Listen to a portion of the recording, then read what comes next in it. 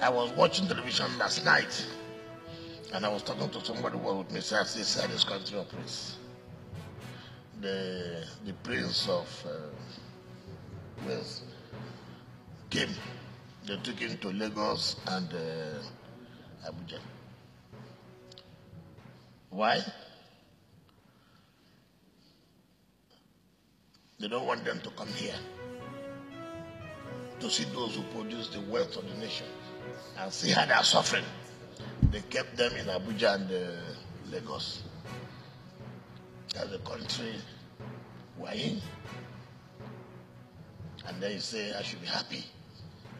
I produce the wealth. You use it to develop the other areas. And the Prince of Wales will come. So you won't see how we're suffering here. For him to see the people who are producing the wealth of the nation.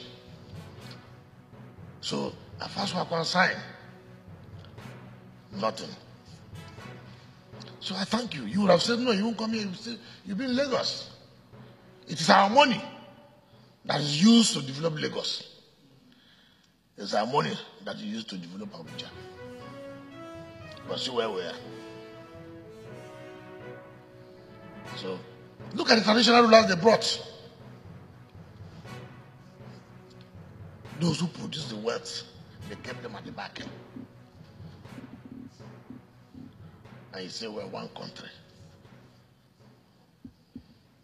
So it's, it's so painful.